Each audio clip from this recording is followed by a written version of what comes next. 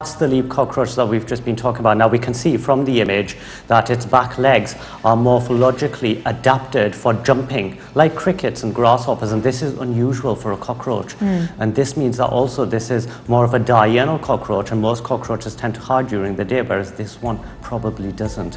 So that's an interesting new discovery for 2010. And before 2010, this would have been um, a cryptid or a, a, cryptozoological specimen because it was unclassified. It didn't exist as far as science goes, but it does exist now. Okay.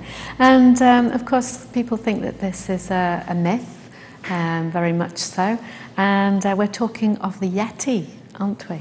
Right. If we're moving on to the Yeti now, uh, this is a fascinating subject because, again, it could be a myth or it might not be. But the fact is, the Yeti is a subject that still goes on today, and there is no evidence to disprove or prove its existence.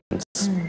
A very interesting find was made in Inner Mongolia in the ancient volcanic ash. Mm. Hidden beneath the snow, they found a new fossil, and this fossil is of the largest spider ever found it is of a Nephila spider. Now, Nephila spiders exist today, today, and these are huge orb-web spiders, also known as golden orb-web spiders, that live in tropical areas of the world. And this would indicate that this part of Mongolia was probably tropical and lush during the late Jurassic when this spider existed.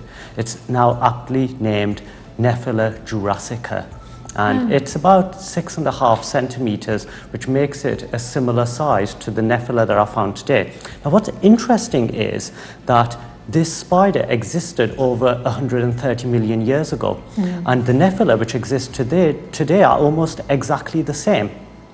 Now, it's interesting that Nephila existed so far back when there are other spiders, such as Liphistius, which are more ancient forms of arachnid, and therefore this makes them even older than we thought. Mm. So, therefore, this fossil indicates that spiders are older than we first thought.